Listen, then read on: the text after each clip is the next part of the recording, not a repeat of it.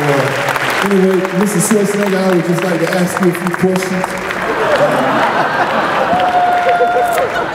How does it feel uh, to be here another year for the Arnold Classic?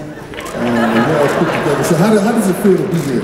And I want to know how was your training leading up to you know, being able to put on, being able to put on this nice suit, you know, that nice smile, you know, and, and, and I also want to know how are you dealing with this, you know, with this Donald Trump beef you got going on. You know? You really don't have to answer that.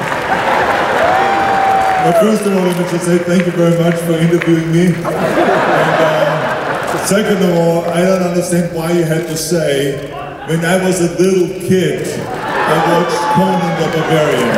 Why couldn't you just say like 10 years ago, watched Conan the Barbarian? Why did you have to make that like an old man? That movie came out 50 years ago. They didn't even have to say that. That's what I'm saying. And number two, yes, I did train for this event. I worked out two hours a day to make sure that my body fat goes from 24 to 18. Okay, so you're happy now? Uh, well, well, if that's the case, then let me see that twisting back double bicep pose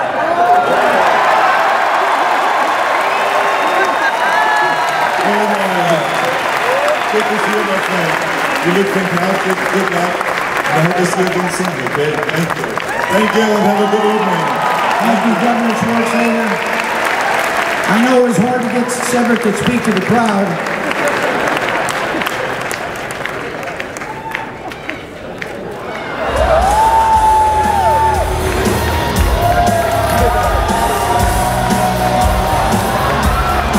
Seven,